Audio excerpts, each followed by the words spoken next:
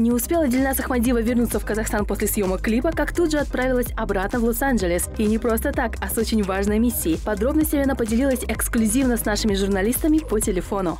Я оказалась в Лос-Анджелесе э, по причине того, что я прилетела снимать э, видеоклипы. И после чего я каким-то волшебным образом познакомилась с Волтером Афанасьевым, э, который в свою очередь предложил э, мне заполнить анкету э, для участия в шоу под названием «Исина».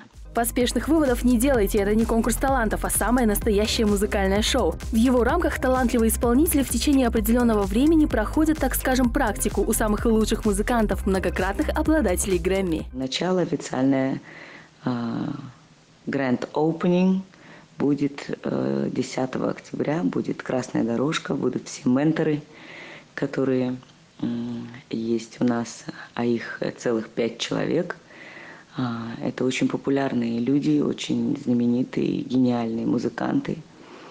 А, Уолтер Афанасьев, Babyface, Кенни Джи, Участие в шоу принимает несколько стран, но в основном задействованы Соединенные Штаты. И Дельнас единственная, кто с Казахстана. Всего же 16 участников, которые 15 ноября в финале дадут масштабный концерт, дабы наглядно показать, чему они научились за время шоу. Здесь вроде как нет победителей. Э, мы все, в общем-то, уже победители. Я всегда мечтала работать с лучшими из лучших, и это, наверное, единственная возможность для меня.